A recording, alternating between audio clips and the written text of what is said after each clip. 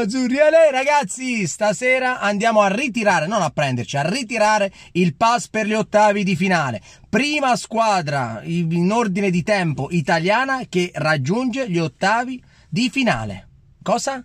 Il Nap ho detto squadra italiana, ragazzi. Comunque, per quanto riguarda stasera, intanto oggi è un giorno strepitoso. Stiamo tutti bene, tutti felici, lavoriamo tutti, tutto quello che volete.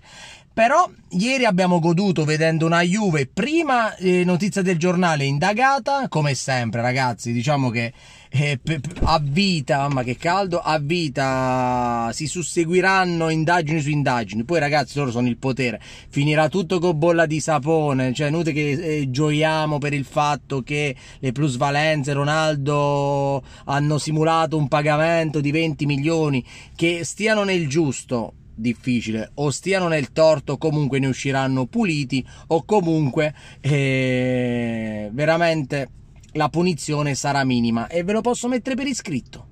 Perché il pubblico ministero aveva chiesto già la, la carcerazione, tra virgolette, la condanna per Agnelli da quello che è trapelato, però subito è stata respinta, anche perché ragazzi, per, qual- per, qualcuno Agnelli non è un delinquente, per qualcuno come me magari è peggio del bandito che ti viene a fare la rapina alle 4 di notte in casa. Comunque, stasera andiamoci a prendere la qualificazione.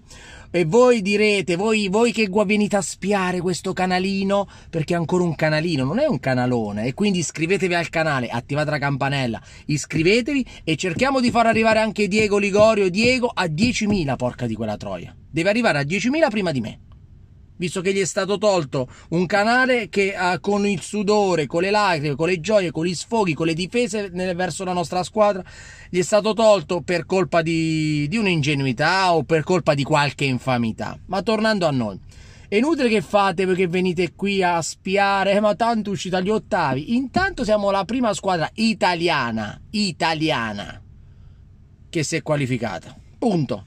Intanto per il secondo anno consecutivo, dopo che abbiamo vinto uno scudetto, ci hanno indebolito un anno, non ci hanno rinforzato l'anno dopo ancora. Intanto ci qualificheremo con un girone di ferro, Bayern Monaco e Barcellona. In casa le abbiamo rotto il culo, in casa loro, dal punto di vista della performance, le abbiamo rotto il culo. E quindi io sono soddisfatto. Ovviamente qualcuno dell'Inter, noi siamo l'Inter, dobbiamo ambire, ragazzi. Noi non, non, possiamo, non possiamo ambire più a certi traguardi, non possiamo ambire, non possiamo ambire a vincere la Champions League.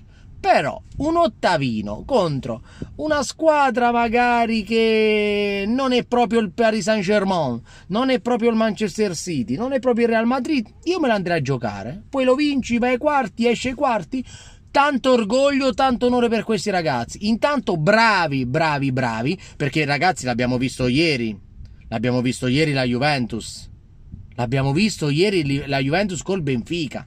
Il calcio italiano rispetto, rispetto a tutto il calcio europeo principale, compreso Portogallo e forse Francia, dal punto di vista te- tecnico è veramente di livello bassissimo. Quindi onore a noi che ce l'andiamo a giocare e che riusciamo almeno ad arrivare tra le prime 16 squadre d'Europa.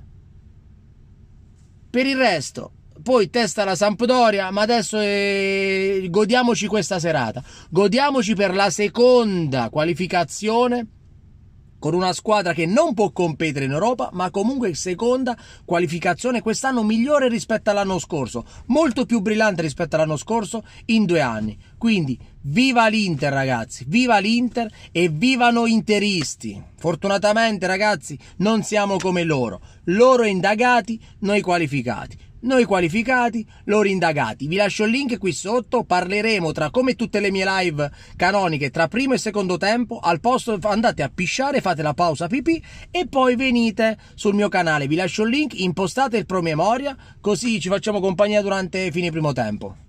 Viva l'Inter ragazzi, dai!